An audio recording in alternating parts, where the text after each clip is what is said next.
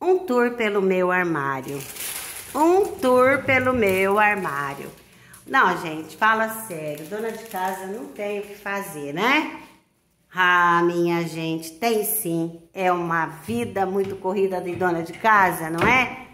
Pois olhe lá as taças todas lavadas, tudo limpinho. É isso aí, é o tour pela minha cozinha. Aí está, né?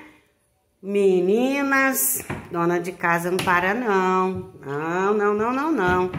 Então, como é que é? Tô lavando, ó. Tá tudo aqui na pia. Estão secando, não é? Mas dona de casa, gente, para não, né? Olha aí, em cima da mesa, um monte de coisa pra gente lavar, pra gente pôr no lugar. Dona de casa sofre, mas é gostoso trabalhar com os nossos afazeres. Tal seria se a gente não pudesse fazer. Quando eu fico sem poder fazer, aí sim eu fico triste. Mas bora lá ser feliz, não é?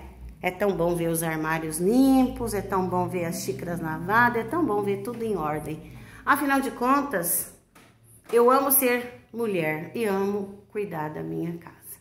Eu amo. Eu acho que isso daí faz parte. Aí estão as minhas canecas, não são muitas, mas eu as amo, gosto demais de canecas.